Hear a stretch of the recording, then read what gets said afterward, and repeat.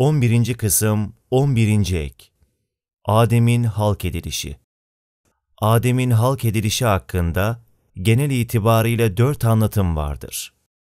Birincisi, Kur'an-ı Kerim'in ve Efendimiz sallallahu aleyhi ve sellemin hadislerinin zahiri manaları üzerine saygıdeğer tefsir ediciler tarafından beyan buyurulan anlatımlardır. Bunda kitap ehlinin hepsi birleşmiştir.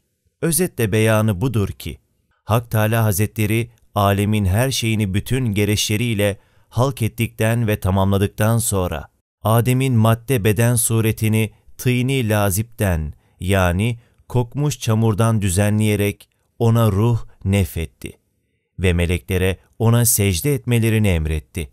Secde ettiler. İblis, ben ondan hayırlıyım çünkü beni ateşten ve onu topraktan halk ettin diyerek secde etmeyi kabul etmedi. Edebi terk ederek, böyle bir kıyasa dayanarak, Hakk'a karşı itiraza cüret ettiğinden, iblis, huzuri izzetten kovulmuş oldu. Daha sonra Adem'in sol kaburga kemiğinden Hak Teala Havva'yı halk etti.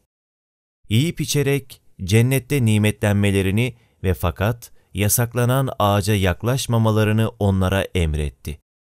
İblisin baştan çıkarmasıyla bu yasaklanan ağaca yaklaştılar. Hak Teala, İhbitu yani ininiz. Bakara suresi 38. ayet. Emriyle onları cennetten çıkarıp yeryüzüne indirdi. Adem'le Havva'dan yeryüzünde üreme yoluyla Adem çocukları türedi. Tefsircilerin anlatımına göre Adem'in halk edilişinden bu zamana kadar 7000 sene kadar bir müddet geçmiştir. İkincisi, Kur'an-ı Kerim'in ve mübarek hadislerin batın manaları üzerine ilahi sırların kaşifi olan tahkik ehli hazaratı tarafından beyan buyurulan anlatımlardır. Cenab-ı Nimetullah Hazretleri, Vallahu enbeteküm minel ardı nebate yani ve Allah sizi arzdan bitirdi bir bitki gibi. Nuh suresi 17. ayeti kerimesinin tefsirinde şöyle buyururlar. Allah Teala sizi arzdan en güzel bir şekilde olarak bitirmek suretiyle bitirdi. Ve sizi çeşitli ve sınıflar olarak yaptı. İlk önce bitki cinsinden, sonra hayvan ve sonra da iman ve marifeti kabul edici insan oluncaya kadar terbiye etti. Daha sonra beşeriyet derecesinden halife olma mertebesine ve ilahi vekilliğe yükselmeniz ve gözlerin görmediği ve kulakların işitmediği ve beşer kalbinin hatırına bile gelmeyen şeye ermeniz için size ağır gözüken teklifler teklif etti. Yeryüzünde Beni Adem neslinin değişimlerin neticesi olarak derece derece kemal bulmasıyla meydana çıkmasını, pek açık beyandan ibaret olan bu tefsire diğer tetkiklerin ilavesine gerek görülemez. Bu beyan tarzı 3. cilt Mesnevi Şerif'te de aynen böyledir. Madenlikten öldüm ve bitki oldum. Ve bitkilikten öldüm, hayvan mertebesine göründüm. Hayvanlıktan öldüm, Adem oldum. Böyle olunca ne korkayım, ne zaman ölmekten noksan oldum.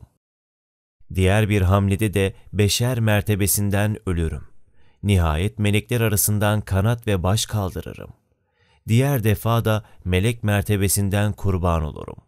O şey ki vehme gelmez, o olurum.'' Secde suresinde olan ilk olarak balçıktan halk etmeye başladı insanı. Sonra onun neslini basit bir sudan yaptı. Sonra onu düzeltti ve ona ruhundan nefhetti.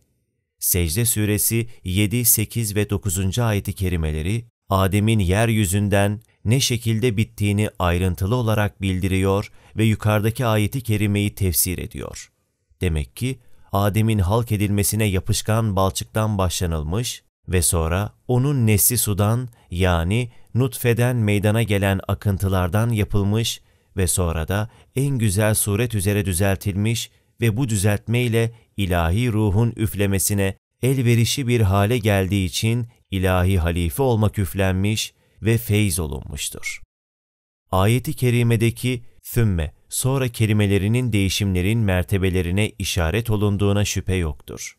Bu değişimler birinci kısımda bahsettiğimiz anlatım sahipleri tarafından şöyle tefsir olunur.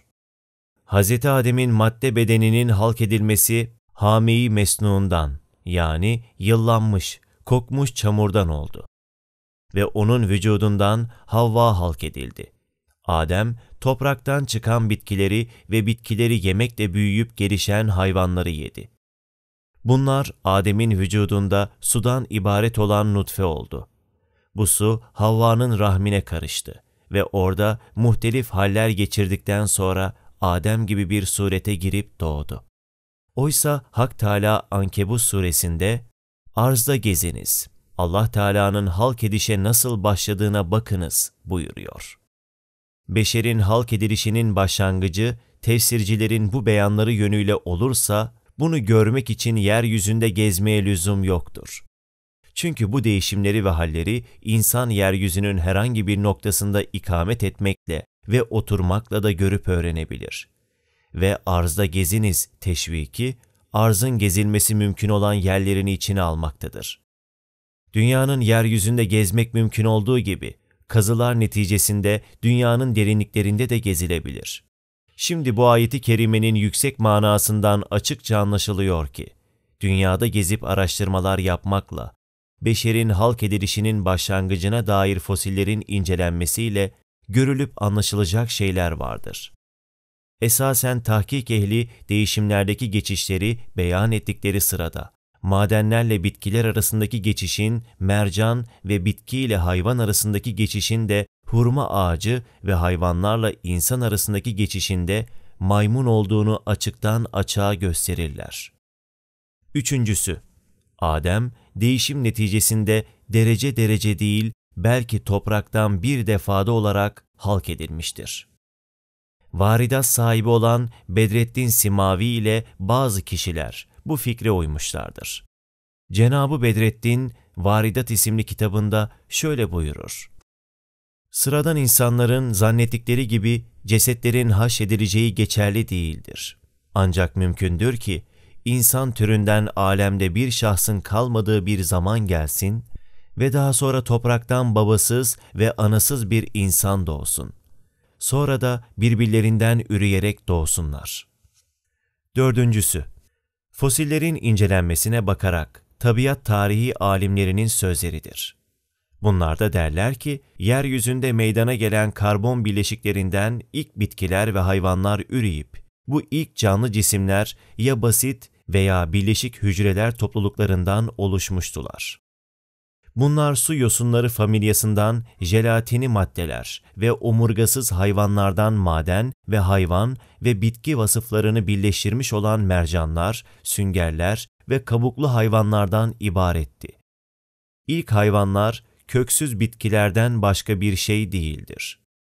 Gezegenin yaşam şartlarının mükemmellik kazanması ve ilkel halde bulunan bazı azanın büyüyüp gelişmesiyle hayat hali işlemiş ve kemal kazanmıştır. İlk zamanlarda ilk denizlerin derinliklerinde yüzen omurgasız hayvanlardan başka bir şey görülmezdi. Bu devrin sonlarına doğru Sillur devri esnasında ilk balıklar ve fakat kıkırdaklı balıklar meydana gelmiştir. Kemikli balıklarsa ondan pek çok zaman sonra vücut bulmuştur. İlk devirde karada ve denizde yaşayabilen kaba hayvanlar, iri sürüngenler, çok yavaş hareket edebilen kabuklu hayvanlar başlar. Ancak hayvani unsurlar bu devirde henüz genişlememişti. Milyonlarca seneler geçmiştir ki gerek hayvanlarda ve gerek bitkilerde erkeklik ve dişilik yok idi. Bu tür oluşumların ilk meydana çıkışı balıklardaki münasebetler gibi zayıf, belli olmayan ve şiddet ve faaliyetten uzak idi. Ancak hayat derece derece kemal kazanırdı. Sonrasında hayvani unsurlar çok çeşitli olarak birbirlerinden ayrıldılar. Sürüngenler meydana gelmiş, kanatlar kuşları havada uçurmuş, ilk omurgalı torbalı hayvanlar ormanlarda yer almaya başlamıştır. Üçüncü devrede yılanlar ayaklarını kaybetmekle büsbütün sürüngenlerden ayrılmışlardır. Nitekim ayaklarının vücutlarına bitişik oluşunun eserleri günümüzde dahi görülmektedir.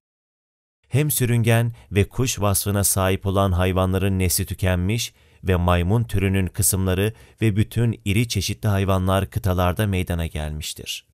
Ancak beşer türü henüz mevcut değildi. Anatomik vasıfları yönünden hayvandan pek az farkı olan ve fakat yükselme kanunu basamaklarının en yükseğine ve aklının büyüklüğüyle aleme hükmedici amir olmak istidadına sahip bulunan insan, daha sonra meydana gelmiştir. İnsan, kemal bulma kanunu neticesinde meydana çıkmış ve hayvanların silsilesinin en mükemmeli bulunmuştur. Memeli hayvanlar arasında insanın en yakın atası primatlar olduğu gibi, onların en yakın atası insana benzeyen denilen kariniyenlerdir. Paul ve Fritz Sarasen isminde iki hayvan alimi tarafından 1893 tarihinde yapılan tetkik ve çalışmalar neticesinde Seylan'ın ilk ahalisinin kendi oluşumları itibarıyla diğer ırklardan daha çok maymuna yakın olduğu anlaşılmıştır. Anthropoid denilen insana benzeyenler arasında ise insana en çok benzeyenleri şempanze ile gorillerdir. 1894 senesinde Java'da keşfedilen bir kafatasıyla beraber bir oyluk kemiği ve birkaç diş, Light'ta yapılan hayvan kongresinde hayvan ve bitki ve fosil alimleri tarafından tetkik edildikten sonra bunların bir insana benzeyene ait olduğu kararlaştırıldı. Bu suretle oluşan insanların meydana çıkmasından şimdiye kadar tahminen 500 bin sene kadar bir zaman geçmiştir. Şimdi Beni Adem türü yeryüzünde bahsedilen bu dört anlatımdan hangisi yönüyle halk edilmiş olursa olsun, arz üzerindeki mahlukların hepsine üstün ve hepsinden mükerrem ve daha şereflidir. Onun mükerrem ve daha şerefli oluşu bu dört anlatımın anlatıcılarına da tasdik edilmiştir. Hak Teala Hazretleri bu hakikati ve andolsun ki Adem oğullarını kerem sahibi kıldık.